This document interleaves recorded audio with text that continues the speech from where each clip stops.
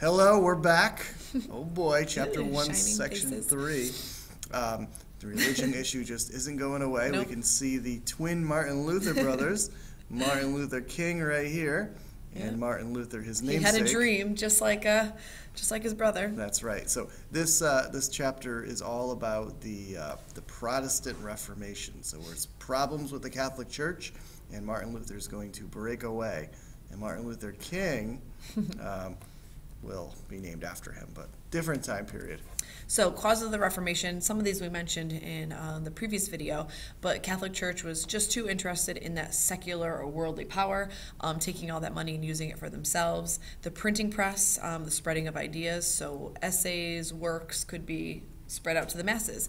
Um, these merchants who were in the north, um, especially in Italy, uh, resented paying taxes, um, you know, to Rome, and some other territories or states, especially Germany, were not united. So it was really difficult for the Pope, as a central authority, to have power over these groups that weren't together. Okay. Yeah. And it continues though. Many of these church leaders were corrupt, so using that money for bad, um, bad things. Um, the popes spent money for their own pleasure, so not just their crowns and their I don't know new horse and buggy, um, gambling, alcohol, and the wars like the Crusades. And many of these priests um, had children. And many of them couldn't read. And so many people were like, You're supposed to be sort of separate from us, and so you shouldn't be partaking in these There should be no wild shenanigans. bounce. Exactly. Mm-hmm. Um, and it's kind of weird if the priest priests couldn't be educated, how could they be teaching the people? Yeah, like teachers. Yeah, exactly. I didn't go to school.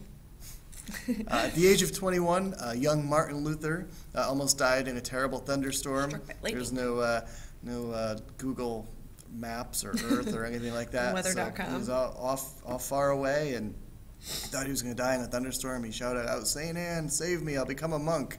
And he kept his word. He became a monk, and he's going to change the world. Um, so he was he was a had a problem with the selling of indulgences, um, which basically allowed um, a sinner to pay for their sins instead of putting in the time and effort. Like literally praying. pay, give Yeah, money. Pay instead of pray. And he didn't think that was right. So he was bothered by this. Uh, there was a particular friar that was selling indulgences uh, where he lived. So Martin Luther's going to do something about it. So, back to the printing press, he posts these 95 theses. Um, a thesis is essentially just, like it says, a formal statement or his concerns um, about what the church is doing. So, he posts them on the castle door. Um, they're spread around, and before you know it, people are listening and interested, and they begin debating. Um, and then they're so to said, copied his words, and all around Germany, people are questioning the church because of Martin Luther's um, sort of 95 ideas. Yeah. So when my children want to go trick or treating on October 31st, we instead read the 95 Theses. Oh, So I'm a great dad. you are. Sounds sounds fabulous. So, Luther's teachings uh, people can win salvation. They can be saved only by having faith in God's forgiveness, not by indulgences. So no paying, paying to get out of your sins. All the church teachings should be based on the Bible. Um, the Pope is not the Word of God, he's not the Word of Jesus. It's just a Um, man. Yeah, just a man, baby. Um, so, he's a false authority. Um, and all people that have faith are equal in the eyes of God. And you don't need the priest to interpret the Bible. Now that there's the printing press, you can Read it interpret yourself. Yeah, exactly. So what does the Catholic Church do? Of course, excommunicated him. We said if you go against the church, you're done. Um, so he's condemned as an outlaw, and essentially anybody who tries to help him, um, give him food, shelter, um, could also face excommunication and maybe even an interdict, depending on the severity of the situation. You were So- allowed to kill Luther without any punishment because he was such a wanted man. But they won't do it. Nope. Luther's followers will form their own group um, known as Lutherans or Oh, Protestants that makes sense. because they're protesting the Catholic Church. Eventually, they're going to come to a consensus with the Peace of Augsburg where every ruler in Germany could decide the religion of their state because the, Europe was at war with each other between Catholics and these Lutherans.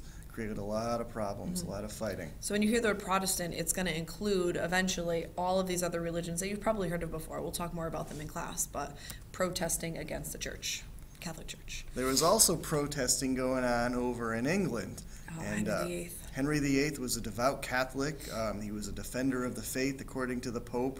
Hated Martin Luther. Mm-hmm. He was a good Catholic. But he wanted a boy. wanted that son to carry on the family name and eventually he's going to have many many wives um, some of them he kills. Um, he's going to have children um, eventually a son. But again um, henry is going to ask the pope for a divorce because he has these women and he wants to have a son. And the pope unfortunately is going to say no. Nope, nope. Not gonna do it. Oh henry So Henry calls Parliament to pass laws to end the Pope's power in England, and eventually he marries six times. Um, divorced, beheaded, died. yep Divorced, beheaded. Beheaded. Last one survived. yes All right. So his third wife gave him a did son. i say eight in the last one i think i was thinking henry the eighth No, I think you said six. okay I don't know. Let's start over. so his third wife gave him a son, Edward, but he died at the age of 15. Henry was still king. Um, what's Mary's nickname? Bloody mary Homework. Go in the bathroom. Yes. So Henry, lights. yeah, exactly. Say Say her name Mary. three times. So Henry was Catholic, but then went to Protestant. Um, Edward was Protestant because the advisors wanted him to be, but Mary, Bloody Mary, um, was actually Catholic because she was raised a Catholic. She was one of um, Henry's first daughters. So she went on a terror trying to kill anybody who was a Protestant. So then when her sister Mary came in, she went back to Protestant. Flip flopping. So Elizabeth will take over after they kill Mary. She rules 45 years. She's also Protestant and sets up the Church of England, the Anglican Church. All right, All that right. concludes section three, but don't worry, section 4 We'll is coming back. up. Oh, Five, yeah. four, three, two, one. Okay, we're back. Section four, the Reformation continues. Who's this handsome feller? Looks like Calvin. John Calvin. He's going to actually spread Protestantism even more than Martin Luther. So, uh, John Calvin, um, another Protestant, and so he writes a book, uh, Institutes of the Christian Religion, and essentially um, a summary of Protestant beliefs. So he takes Luther's ideas um, and he kind of adds a few of his own. For example, predestination, which I think is kind of cool. Um, he says that God um, has known who is going to be saved. So you're sort of predetermined. So anything you really do doesn't it doesn't really matter. Like your life is sort of set for you. So it's kind of interesting. That's why I live a thug life, Yeah. knowing that I'm already determined to go to heaven or hell. Oh, Doesn't ooh. matter. Um, so again, believes in a theocracy. So that means a government is controlled by these religious leaders. So maybe somebody like him or a priest, um, or maybe even a bishop or something like that. But um, Geneva is was his experiment, right? Um, and he wanted to make this city run like this theocracy, and it was very strict there. No bright colors, no games, and um, you know he tried a little bit. Sounds like fun. Yeah.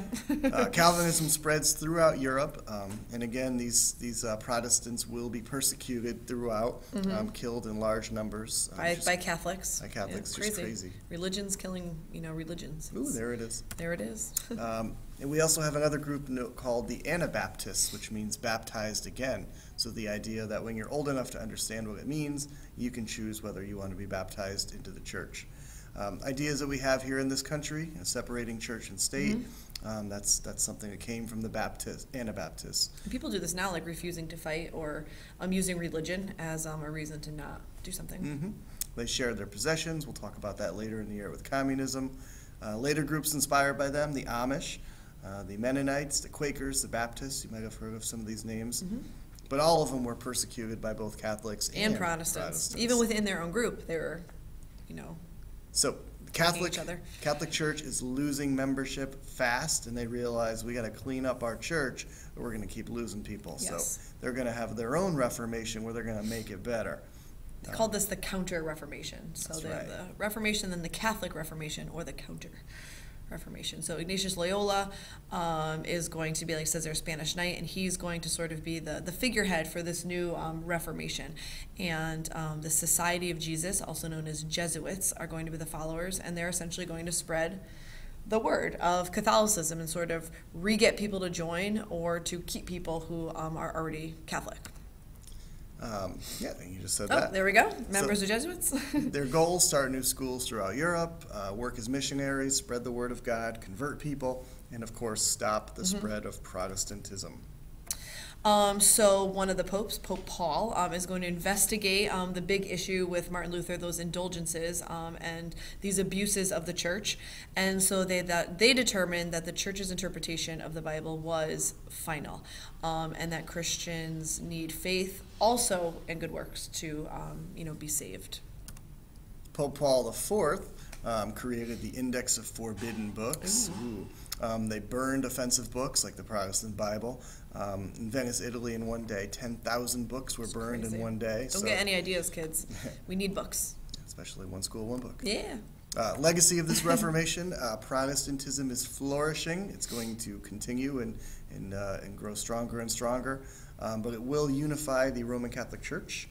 Um, education benefits, many new colleges. Unfortunately, women's rights, that's a far Sorry, away. ladies. See, look at me. I'm already. I'm all the way over here. He doesn't even let me in the shot. I know. Church's power declines. Uh, kings are going to gain more power in this period, but people will start questioning things. Why does the king have all the power? Why is this this way? And so we're going to start questioning Leading to the Enlightenment. That's right. All right, that concludes chapter All right. one, section four. See you, chapter three.